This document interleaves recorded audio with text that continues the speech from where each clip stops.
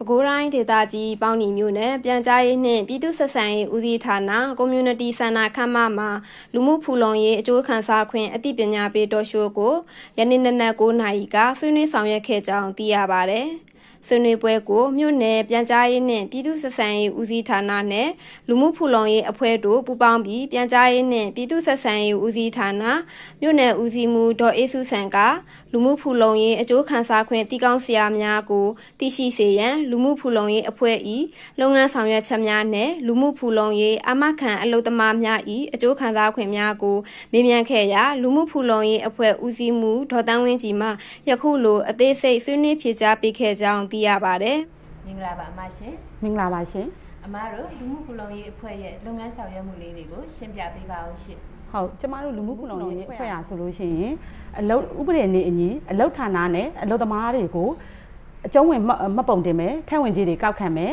နောက်အသိပညာပေးလုပ်ငန်းတွေဆောင်ရွက်ပေးမယ်အခမဲ့စေဝါကုသပေးခြင်းတွေကိုဆောင်ရွက်ပေးလျက်ရှိပါတယ်လူမှုဖူလုံရေးအာမခံအလုပ်သမားတွေရဲ့အကျိုးခံစားခွင့်လေးတွေကိုရှင်းပြပေးပါအောင်ရှင် ဟုတ်ကဲ့ကျမတို့လူမှုဖူလုံရေးအဖွဲ့အစည်းဆိုလို့ရှိရင်ဥပဒေနဲ့အညီလက်ရှိအာမခံစနစ်15မျိုးကိုလက်ရှိ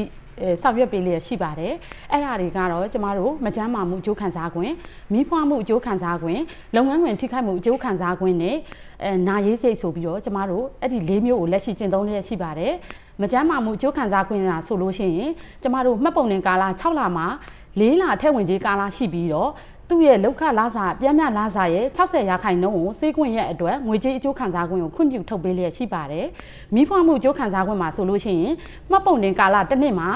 ထက်ဝင်ကြီးကာလသည်ကျမတို့6လတစ်ဆက်တည်းရှိပြီးတော့ပြမ်းမြလာစာရဲ့80ရာခိုင်နှုန်းကိုမမွေးခင်6ပတ်မွေးပြီး10ပတ်စုစုပေါင်း14ရက်အတွက်ကိုကျမတို့ငွေကြေးအကျိုးခံစားခွင့်ခွင့်ပြုထုတ်ပေးလျက်ရှိပါတယ် နောက်မိဖွားမှုဇရိတ်အတွက်ကိုလည်းပြန်မြလာစာရဲ့ကျမတို့90ရာခိုင်နှုန်းတဦးကလေးတဦးဆိုရင်90ရာခိုင်နှုန်းခွင့်ပြုထုတ်ပေးလျက်ရှိပါတယ်ကလေး2ဦးဆိုလို့ရှိရင်85ရာခိုင်နှုန်းနဲ့ကလေး3ဦးဆိုရင်ကျမတို့100ရာခိုင်နှုန်းအထိအပြည့်အဝငွေကြေးအကျိုးခံစားခွင့်ကိုခွင့်ပြုထုတ်ပေးလျက်ရှိပါတယ်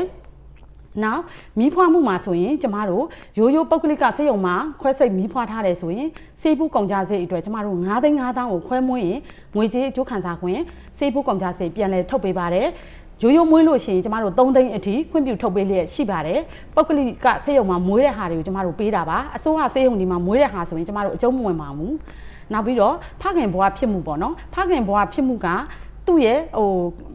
အမျိုးသမီးမီးဖွားဘူးလို့ရှိရင်ကျမတို့မီးနေစောက်ချောက်ခွင့်ဆိုပြီး15ရက်ပေးပါတယ်အဲ့ဒီ15ရက်အတွက်ကိုကျမတို့မှတ်ပုံတင်ကာလဒီတစ်နှစ်ရှိပြီးတော့ထပ်ဝင်ကြေးကာလထပ်ဝင်ကြေးကာလဒီကျမတို့6လအနည်းဆုံးရှိပါပါမယ်အဲ့6လမှာကျမတို့ပြန်မြလာစာရဲ့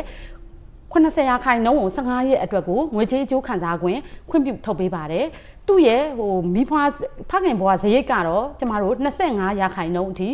ခွင့်ပြုထုတ်ပေးပါတယ်။နောက်အလုပ်တွင်ထိခိုက်မှုအကျိုးခံစားခွင့်အလုပ်တွင်ထိခိုက်မှုအကျိုးခံစားခွင့်မှာဆိုလို့ရှိရင်ကျမတို့လုပ်ငန်းခွင်အတွင်းမှာဆိုလို့ရှိရင်အဲရိုးရိုးယာယီမတန်ဆွမ်းမှုအကျိုးခံစားခွင့်ကိုကျမတို့80ရာခိုင်နှုန်းအထိ ခွင့်ပြုထုတ်ပေးပါတယ်။နောက်ဟိုအမြဲတမ်းမတန်ဆွမ်းမှုအကျိုးခံစားခွင့်ဟာသူ့ရဲ့လုံအားဆုံးရှုံးမှုပေါ်မူတည်ပြီးတော့ကျမတို့80ရာခိုင်နှုန်းအထိကိုအဲ